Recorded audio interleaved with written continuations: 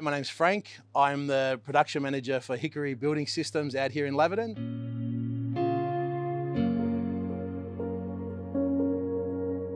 We look after all the precast for a majority of the Hickory sites.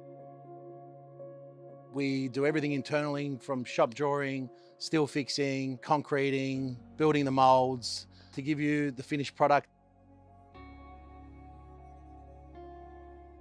And at the moment, we are standing in front of the Queensbridge facade precast. We start with the mould design and we lay this mat down. Once we form it all up, we have a quality control process. So we QA the mould, make sure it's okay.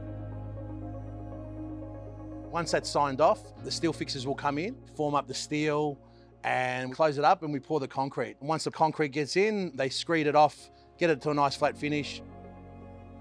The mold itself is a complex mold and it's got a lot of detail, as you can see with the textured finish here behind us. We build in-house here ourselves and have control over the precast, which gives us greater control over the quality of the, the product.